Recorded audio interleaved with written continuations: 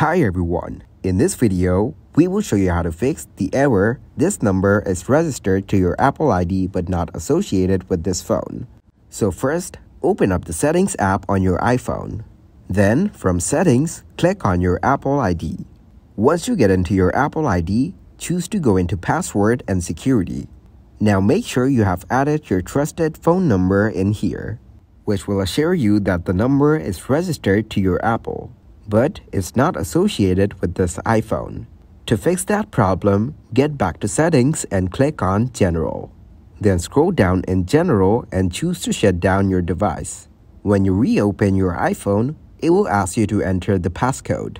After that, go into Transfer and Reset iPhone option from Settings. Click on Reset and choose the Reset Network Settings option from here.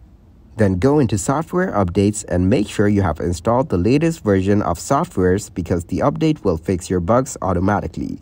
Thanks for watching, like the video and subscribe to the channel for more content like this.